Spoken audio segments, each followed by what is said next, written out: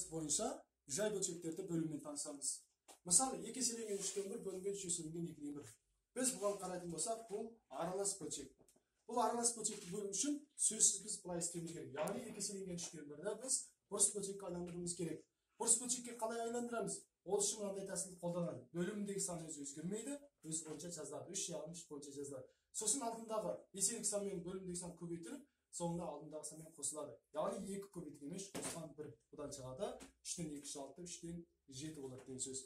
Ал келесісі үш еселенген екіден бір. Үш еселенген екіден бір ол неге тең ол тағы да ұқсас бөлімдегі сан өзгеше түседі. Екі мен үш көбейтіледі сосын алдындағы сан қосылады да бұл екіден жеті болып жазылады.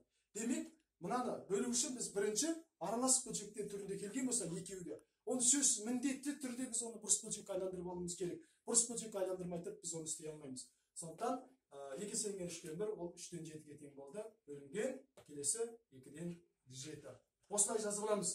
Енді осылай жазып алғаннан кейін не істейміз? Көбейту яғни бөлу көбейтудің кері амалы көбейту бөлудің кері амалы сондықтан біз мына жерде бұны көбейтуге айландырамыз яғни үштен жеті көбейтілген мына жерде өшіріп қояйын. Көбейтілген енді кері алмасады. Мысалы үштен екінің кері саны дейік үштен екінің кері саны оның кері саны екіден үш болады яғни алымы бөлімі бөлімі алым болып өзгереді мысалы төрттен үш дейтін болсақ оның кері саны ол үштен төрт болады мынаның алымы мынаның бөлімі болады мынаның бөлімі мынаның алымы болады дәл сол сияқты көбейтуді бөлуді біз көбейтуге алмастырған кезде оның алымы бөлімі бөлімі алым болып келе алмасады яғни жетіден екі болып өзгереді мына жердегі бөлу мына жердегі көбейту таңбасына өзгерді сонымен енді біз екі жай бөлшекті көбейтуге келді ал енді екі жай бөлшекті көбейткен кезде егер олар қысқаратын болса қысқартамыз. Немесе қысқармаса бөлімдер мен бөлімдер алымдар мен алымдарын өзара көбейтеміз ал мына жерде жеті мен жеті қысқарады сонымен шығады бұл. Үштен екі шығады.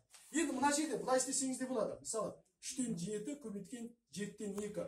Егер мына жеті мен бір жеті басқа бір сандар қысқармай қалатын болса онда не істейміз? Онда бөлім мен бөлімі яғни үш көбейтілген жеті жеті көбейтілген екі. Сонымен жиырма бірден он төрт болады. Ол тағы қысқарады да яғни жетіге қысқаратын болса үштен екі болып тағы да ұқсас шыға береді ал келесісі келесі мынау аралас бөлшекті аралас бөлшекке бөлу ал мынау ше бүтін сан мысалы бес болып тұр енді он екіден бір яғни жай бөлшекке қалай бөлеміз ол жаңа тағы да жоғарыда айтып кеттік мынау бөлу болса көбейтуге алмасқан кезде оның алымы бөлімі бөлімі алымы өзгереді мысалы екіден бірдің кері саны бірден